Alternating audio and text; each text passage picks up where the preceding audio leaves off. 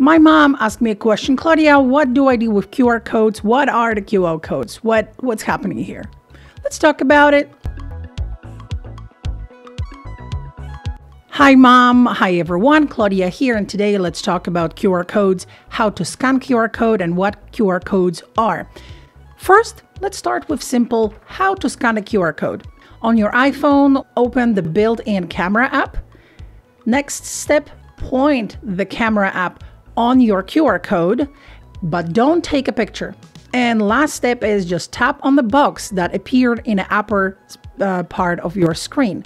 So just scan it. You will see a box. Tap on it, and that's it. You just open whatever it was there.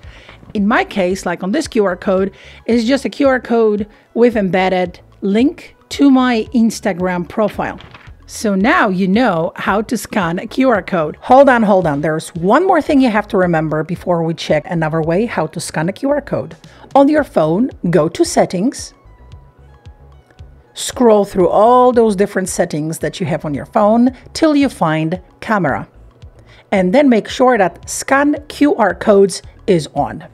And now let's talk about another way how to scan QR code. On your iPhone, go to Control Center, and select QR code scan icon. All you have to do now, just tap it and point the camera on a QR code. That's it. Look, it's working. The question is what are the QR codes and what are we using them for? So think about QR codes as a type of a barcode, but just on steroids, even better. With the QR codes, it's so much easier to, well, for us regular folks, to generate them and add whatever information you want to add to them. So somebody else who is going to scan them will uh, have access to that information. So now the question is, what can we add, or as uh, customers, what can we find out by scanning QR code? And this is really amazing. If you were lucky enough to go to a restaurant and sit down and order something from the menu, you probably noticed at some restaurants that the menu was not available in a paper copy. How did you get access to the menu? Via QR code. The QR code was on a piece of paper on a table.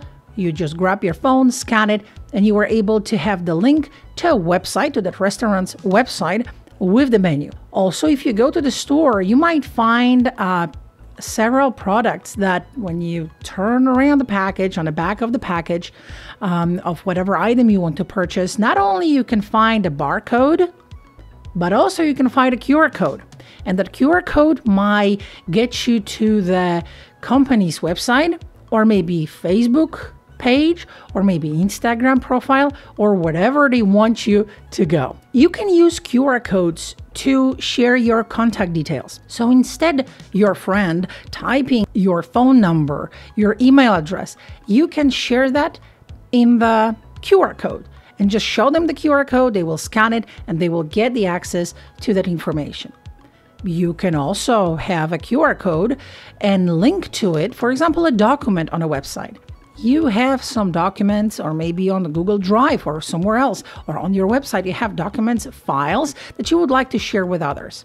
As long as you have the link to that specific location on, a on the website, you can add that link to a QR code so next time you don't have to give your friends or family members the long link that they have to write down or copy and paste.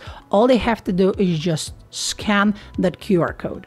QR codes can be also used for directions. You want to share some directions with somebody else, or a company would like to make it a little bit easier for you to get to their location. They can utilize QR code with embedded direction to specific location. You just scan the QR code and you will have access to the map and the directions how to get to specific place. As you can see, QR code you can add to almost everything from contacts to email addresses to uh, some text or maybe directions, links to websites, links to social media profiles, um, many, many different things. Also, using the QR code, now you know it's very, very simple. How about you? Have you noticed interesting QR codes? Do you find QR codes useful or maybe not so much? That's it for today, guys. Thank you for watching. As always, stay safe, stay groovy. See you next time.